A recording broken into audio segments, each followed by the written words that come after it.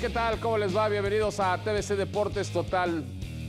Pues hoy la verdad que la final de la Copa Libertadores es- fue más aburrida que una misa maometana, eso no hay duda. La verdad es que equipos que se cuidan demasiado, a la tuca los Tigres, cuando se pensaba que por primera ocasión en una final el equipo regiomontano podía haber salido con ese espíritu ofensivo, con esa garra, con lucha, con talento, pero no, la verdad con muchas precauciones, con muy poca capacidad para definir, con muy poca capacidad para poder tomar la pelota, con cambios ilógicos cuando entra Dueñas y sale Gidio Arevalo, que la verdad estaba jugando muy bien al fútbol.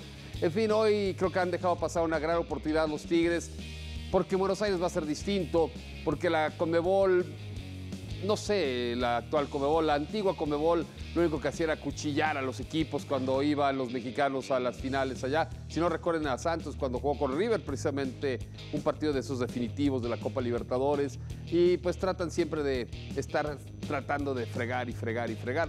Primero ejemplo es que no se haya jugado en la cancha del Volcán la vuelta cuando tenían todos los merecimientos. Pero en fin, así son los de la Comebol, eso es problema de ellos y su mafia y su corrupción.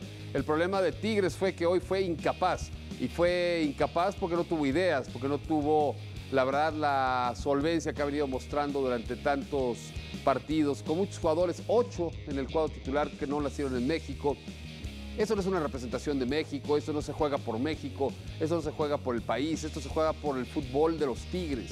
Y el fútbol de los Tigres hoy dejó mucho que desear. Vamos a iniciar ya TC Deportes Total, ahí está el Chaparro acomplejado, ahí está el Lentón eh, que se siente galán, que cree que Mohamed va a ser el técnico de la selección, está el que no habla, Abraham Guerrero, y está el de la voz, fila, Capetillo. Iniciamos.